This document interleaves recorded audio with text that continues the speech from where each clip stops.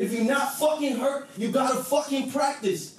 All that weak shit don't fucking live here no more. That shit don't exist. It's contagious, bro. Like it's really fucking contagious.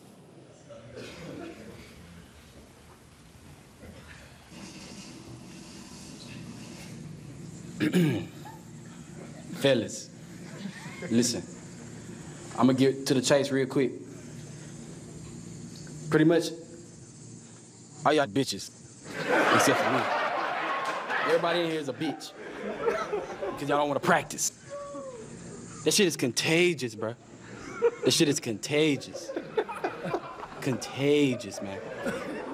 It- it- contagious. Look, I don't give a fuck if your hamstring is falling off the fucking bone.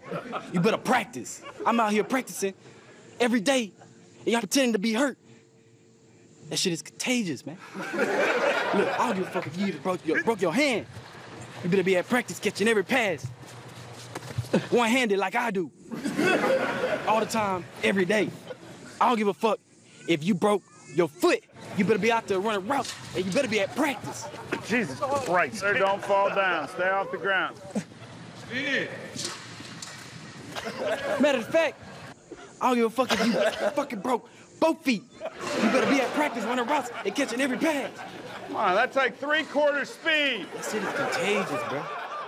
Contagious. That shit is contagious. I don't get, I don't even care if you can't even walk.